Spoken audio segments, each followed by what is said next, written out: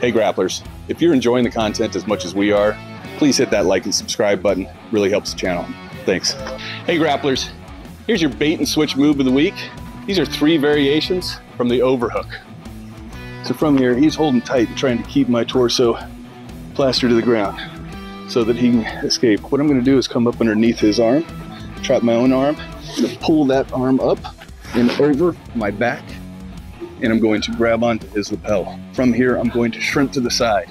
So my first attack is to place my knee on top of my own elbow and pull down until I get the tap.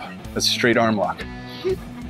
Number two, I can grab right inside the lapel and press and pull until I get the tap for the punch choke. Number three is if he goes to block this punch choke, I'm gonna grab onto the sleeve. I'm going to reposition until I get the straight arm bar. And that's your three variations from the overhook. Stay strong. Keep rolling.